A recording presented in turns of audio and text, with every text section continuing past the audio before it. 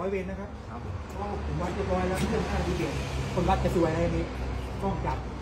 ธรรมดาต้องถอดท่อเปลี่ยนท่อด้วย แต่ผมให้หนึ่งครั้งรถต้องบอกเอาใหม่ ไม่รู้อาจจะไม่รู้ใช่ไม่รู้ แล้วก็เสร็จแล้วปรับเสร็จแล้ว จะมีใบเสร็จอยู่ได้เจ็ดวันให้ไปแก้ไข